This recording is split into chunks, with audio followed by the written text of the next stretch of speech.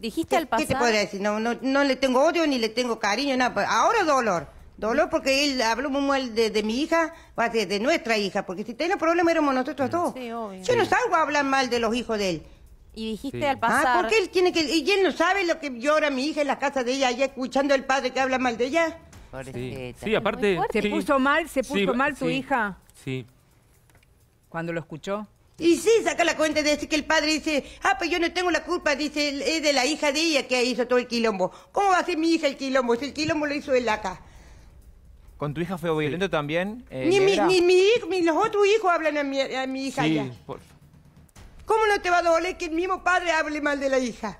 A ver si le sale, una, si le sale el ADN que que es el padre, a ver cómo va a quedar él. ¿Vos crees que se haga un ADN? Yo estoy rogándole a Dios, mira, todos los días, que te haga un ADN con mi hija. Y tu hija. Igual- No nena, por mí, igual, no, negra. porque por mí yo sé la verdad, pero por mi hija, que sufre. Negra, yo te iba a decir una cosa, después de 30 años yo te digo, para mí es...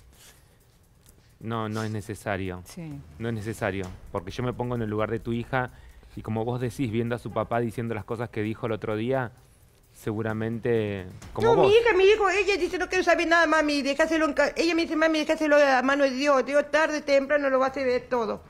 Y ella misma. Porque Pero digo, hija, muy- pero yo le digo, no puede verlo a él que hable mal, de, que diga cosas que, ¿por qué no se hace un poquito cargo él y diga, no, fui yo esto y aquello? Porque él dice, él dice, fue mi, fue tu hija que me vino a buscar a mí para hacer el ADN. Mi hija me dice, no mami, me canso para hacerle el ADN. Y le cortó una uña, qué sé yo, que miércoles Ay, hizo. ay, Dios. que Bueno, no la eh, llevo eso tampoco a ningún laboratorio. Bueno, la. Eh, bueno, ¿la están escuchando? ¿La, la- la- la pueden escuchar?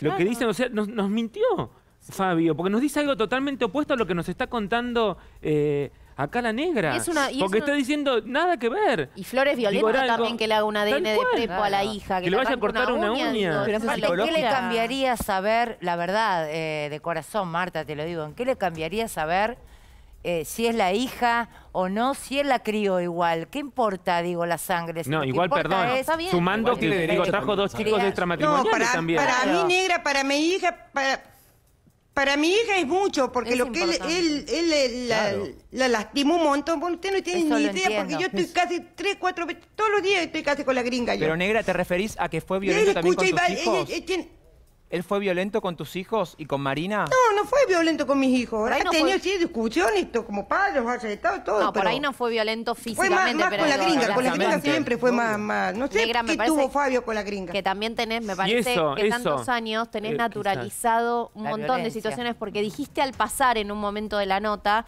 que tenías golpes marcados o yo entendí mal eh, en la casa En la pared. O marcas o yo te, por ahí te entendí mal. Sí, pero eso ya, ya, ¿qué hace, tata? Ya, ya, ya está. Pero yo te quiero decir el tema, No, yo vengo con no el tema de la gringa. el chica, usted me dicen, ¿qué le vale, qué le vale el ADN? Para ella le vale mucho.